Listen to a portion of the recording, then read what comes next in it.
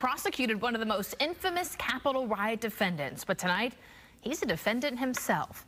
State troopers say former federal prosecutor Patrick Scruggs stabbed someone on the Howard Frankland Bridge. And this happened after a series of crashes on the bridge Tuesday morning. What a scene here. Scruggs worked as a prosecutor in Florida's Middle District for more than 10 years. Fox 13's Evan Axelbank reports tonight on the chaos that led to that violent incident. It all started with a driver passed out in the middle of the highway on the Howard Frankland Bridge and ended with a former federal prosecutor allegedly stabbing the man. Pictures taken by Tara Iglinski show Patrick Scruggs standing outside of a car in a three car pileup. Someone else's bloody hands are sticking out of a window. He had a lot of blood on his arms and cuts on his arms and I was trying to figure out what had caused that. Troopers say Scruggs had bashed through that window and stabbed the man multiple times. Just before that, the man had been passed out while behind the wheel. His car stopped on the Howard Frankland Bridge.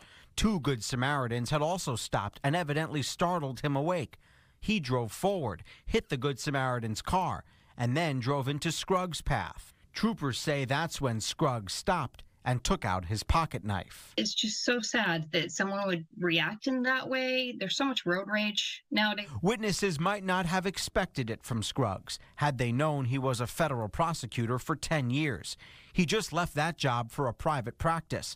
But while he served the U.S. Attorney's Office in Tampa, he helped on high profile cases, including that of Adam Johnson, who stole the lectern from Nancy Pelosi's office during the Capitol insurrection. His actions speaks to his actions and his actions only.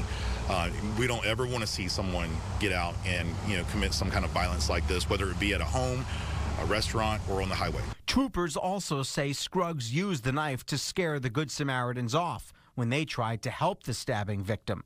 Traffic was stopped for three hours, after which the former federal prosecutor was charged with aggravated battery with a deadly weapon. It doesn't matter who he is, what he did was really really scary, and the way he reacted there was really frightening. Scruggs bonded out of jail after about 10 hours in custody. We do not yet know why that driver was stopped in the middle of the highway and passed out.